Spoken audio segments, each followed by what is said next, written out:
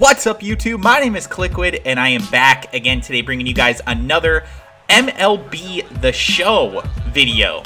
Now, this is actually the first of what will be an ongoing series for this channel, and what this is is actually a franchise that I have going with a few friends. Um, you guys probably know a couple of them. You probably know X Ryan 915 and Chase plays Madden.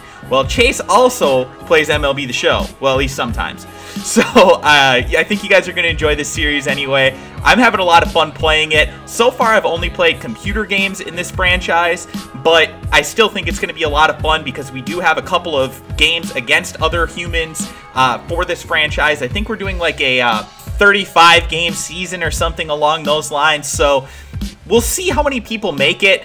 We actually have, I think, three humans in each division, and we have two divisions, one for each conference. So we're hoping that we'll have two people playing in the World Series at some point later in the season.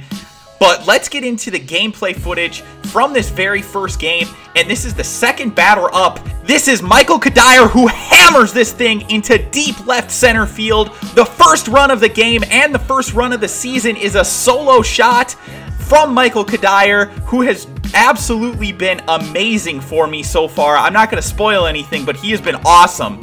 Now in the field, and Jarrod Saltalamacchia nearly hits a home run. Carlos Gonzalez runs into the wall, and he gets in there for a double early in this game, trying to tie things up. But next batter up grounds out to third, and we get out of the inning with no damage done. On to the top of the third, First batter up is Josh Rutledge, and he is going to smash this thing deep right field, and that ball is gone as well. The second home run of the game, a solo shot from Josh Rutledge, and keep that in mind because Josh Rutledge is going to be up later, and you guys are going to see something pretty impressive. Later in the inning, it is shortstop Troy Tulowitzki, the All-Star, and he smashes one deep right field as well with the batter on base. A two-run shot makes it 4 to 0, and we are starting to pull away in this game as Jhoulys Chacin is playing very, very well. Next batter up is another All-Star, Carlos Gonzalez, who lines one out into center field for a single.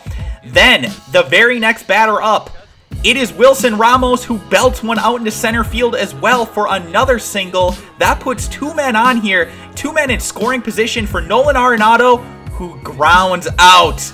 Oh, that could have been a big, big inning there, but instead we're held to just two, 4 to 0 now. Bottom of the third, and Chacin is going to get a strikeout here on Christian Yelich. Bottom of the fourth, Josh Rutledge up again, and I told you guys to pay attention to him. Oh man, another solo shot from Rutledge. This time he goes to his power side to left field, and that one is completely gone. His second home run of this game. And guys, it wasn't just the hitting that was on. As we strike out the big bopper, Mike Stanton, he's going to take a seat here. Leading the way for Jarrod Saltalamacchia, who's up again for the second time, and he is going to strike out looking. We're through four with a shutout. Back up again, and it is Troy Tulowitzki who homered earlier in this one, and he is going to line one out to center field for a single. And that was not a good start to the inning because the very next at bat, it is Carlos Gonzalez, and he is going to go opposite field for another home run. What is that, our fifth home run of this game? A two-run shot gives us a 7 to nothing lead here in this one. Later in the inning, Justin Morneau up to bat, and he is going to smash one to deep left field, and this should have been a run scored. But it ended up just being a double because for some reason, my guy who was on first base didn't round second and he held up there, which made me not be able to bring him home. So that kind of sucked.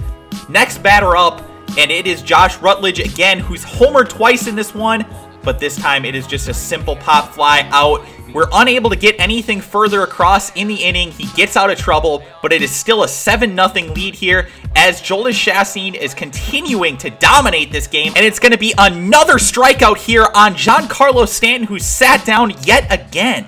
On to the bottom of the sixth, man on first, and he is going to strike out looking. Jarrod Saltalamacchia again, the second time he struck out looking in this one. And after we went to the bullpen, the Marlins finally found something in the form of Giancarlo Stanton, who smashed a two-run shot to make it 7-2. At least the game didn't look quite as bad at this point as it otherwise would have. But we weren't done yet. Top of the ninth, Michael Cuddyer hits one to the right center field, gets past Giancarlo Stanton, and he is in for a double here with one out. Next batter up now.